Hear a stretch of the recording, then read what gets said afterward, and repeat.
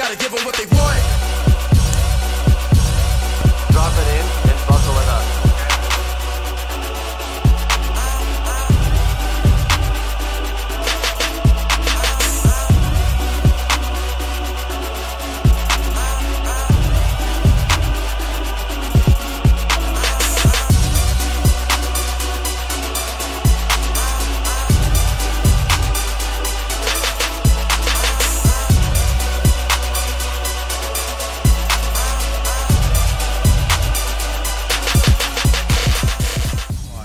Your name, sir? Dan.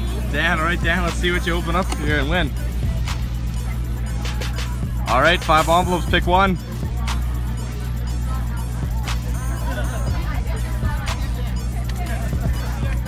All right.